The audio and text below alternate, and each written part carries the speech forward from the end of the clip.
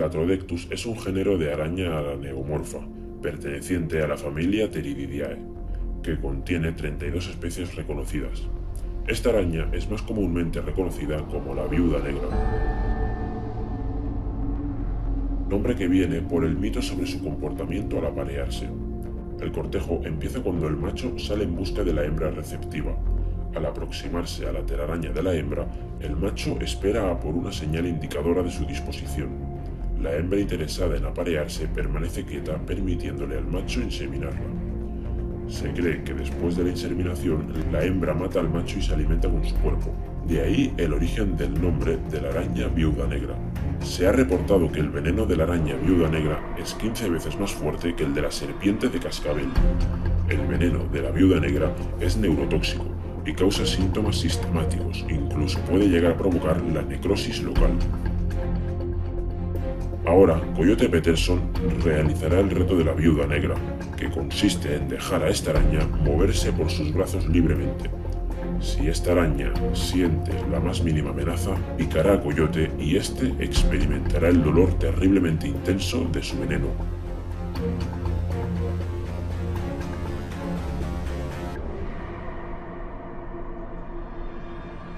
I'm Coyote Peterson, and I'm about to free handle the Black Widow spider. Are you ready?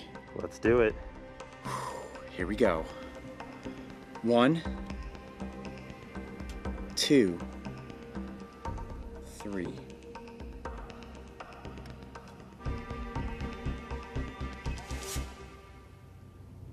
Oh my.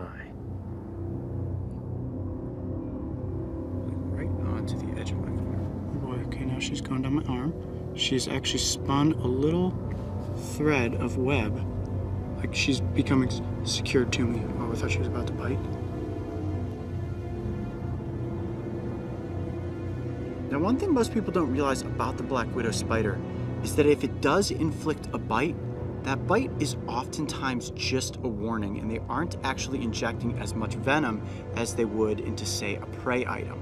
They're not looking to kill you as a human, they're simply looking to startle you so that they can ultimately get away. Can you see that? She is just tangling my arms up with web. It's almost invisible to the eye, but I can feel it all over me, tangling me up.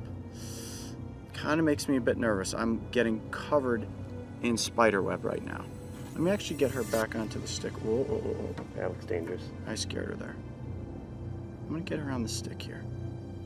I gotta get some of this webbing off of my arm. There you go. Se dice que la viuda negra se come al macho después de aparearse, pero en una investigación en la Universidad de Hamburgo de Alemania se sugiere que esta estrategia de sacrificio se ha desarrollado para promover las probabilidades de supervivencia de las crías. Sin embargo, contrariamente a la creencia popular, las hembras de algunas especies rara vez comen a sus parejas después de aparearse, y gran parte de la evidencia documentada de canibalismo de pareja ha tenido lugar en jaulas de laboratorio donde los machos no podían escapar.